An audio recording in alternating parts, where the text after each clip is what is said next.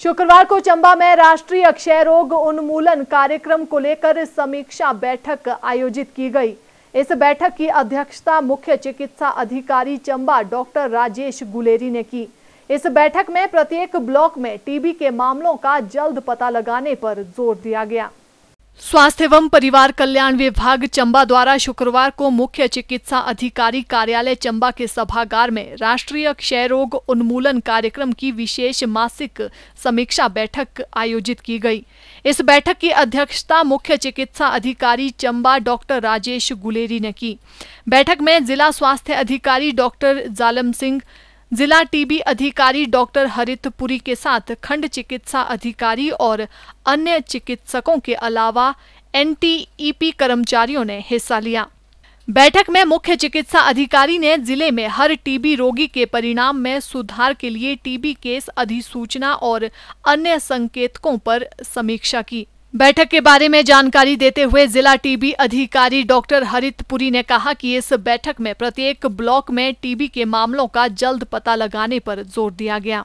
उन्होंने कहा कि इसके अलावा बैठक में टीबी रोगियों के उपचार की निगरानी करने और समय पर ज़िले में सभी टीबी रोगियों को निश्चय पोषण योजना के तहत भुगतान किए जाने जैसे विषयों पर भी चर्चा की गई।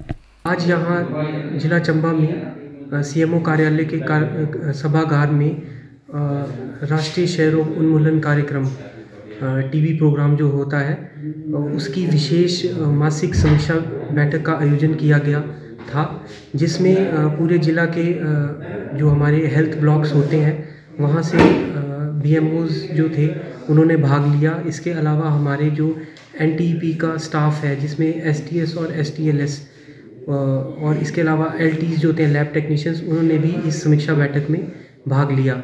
इस समीक्षा बैठक में हमने जो टीबी रोगियों के इलाज के सुधार के परिणाम में बेहतर जो भी सुविधाएँ हो सकती है, उसके बारे में चर्चा की और टीबी केस अधिसूचना जो हमारे एक्सपेक्टेड टारगेट जो होना चाहिए जिला का, उसके आधार पे सभी खंडों को बताया गया कि उसके आधार पे अपना काम करें और जो भी टीबी के केस अधिसूचित हो रहे हैं, उन्हें पूरा, जो भी है टाइमली उनका इलाज और उन पर पूरी निगरानी रखी जाए टिल देयर मतलब जब तक उनका जो है इलाज पूरा नहीं हो जाता।